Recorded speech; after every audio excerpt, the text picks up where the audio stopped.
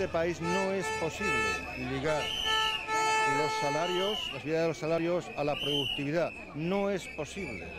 Además, hay que recordar a Zapatero que hay un acuerdo firmado entre los sindicatos y la patronal, el acuerdo de negociación colectiva, que sitúa para el año 2011 una subida salarial media entre el 1 y el 2%. Por tanto, esa posición no tiene ningún futuro. Yo animo al presidente Zapatero a que además de reunirse con esas cerca de 40 empresas para hablar de estas cuestiones, pregunte a los ciudadanos de este país, a los que él representa, sobre qué salario y qué productividad tiene el presidente Rodríguez Zapatero según su opinión.